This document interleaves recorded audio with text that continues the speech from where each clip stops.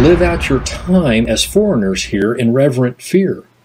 For you know that it was not with perishable things such as silver or gold that you were redeemed from the empty way of life handed down to you from your ancestors, but with the precious blood of Christ, a, bl- a lamb without blemish or, or defect. He was chosen before the creation of the world and was revealed in these last times for your sake.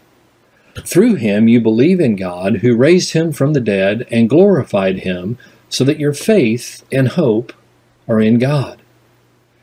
Well, those verses are rich in content. But Peter is challenging us to recognize that the difficulties in our life are to be experienced from the perspective of being a foreigner. We're not called to be at home here.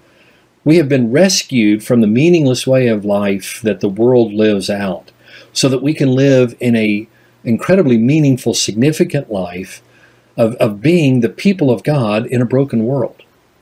Check out the newest series on Praise and Harmony TV 10 Profound Eternal Truths by Dr. Albert Lemons.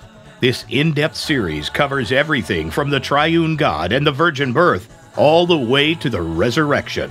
Dive deeper into the truths you've heard about your whole life. Jesus wept. Jesus didn't cry because a good man was dead. Jesus wept because a good man would have to go back to the grave again. And his coming out was necessary to prove the validity, authenticity of Jesus Christ and his ministry. Use this series as an outreach tool to help new believers better understand the message of the cross. 10 Profound Eternal Truths by Dr. Albert Lemons, available on praiseandharmony.tv today.